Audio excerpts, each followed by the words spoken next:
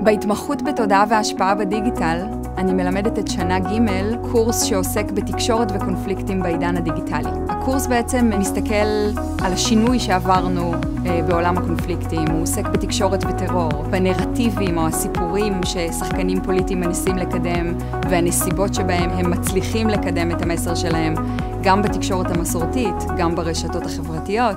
That Hamas does not care about the lives of uh, uh, Palestinians. אנחנו עוסקים במלחמת התדמית, ביכולת של שחקנים פוליטיים או מנהיגים להעביר את המסר שלהם בזמן קונפליקט.